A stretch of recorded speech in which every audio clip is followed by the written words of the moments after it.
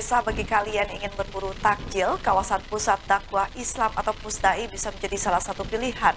Banyak pedagang musiman yang menggelar beraneka ragam menu untuk berbuka sehingga tidak heran kawasan ini menjadi tempat favorit untuk ngabuburit sambil berburu takjil. Beginilah suasana sore hari di kawasan Masjid Pusdai, Kota Bandung yang menjadi salah satu tempat favorit untuk berburu takjil di bulan Ramadan.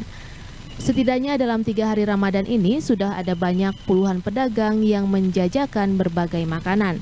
Bahkan para pedagang kuliner ini memadati sepanjang jalan Pusdai. Ada beragam takjil buka puasa yang dijual pedagang, mulai dari aneka makanan ringan seperti gorengan bakwan, cilok, mendoan maupun batagor.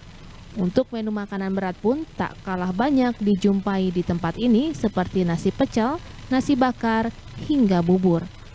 Maka tak heran jika kawasan Pusdai ini menjadi tempat favorit untuk berburu takjil karena banyak menu pilihan yang kita inginkan, dari makanan manis hingga makanan asin. Saya di sini rame terus kan jualannya banyak. Terus Harga harganya sendiri gimana teh? kolak macam-macam kolak Di, di harga berapa bu paling murah? sekarang harga delapan ribu banyak pada naik barang-barang Selain banyak menu pilihan jajanan, harganya pun terjangkau dan tidak menguras isi dompet.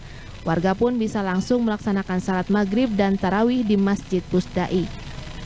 Yuwana Kurniawan, Bandung TV.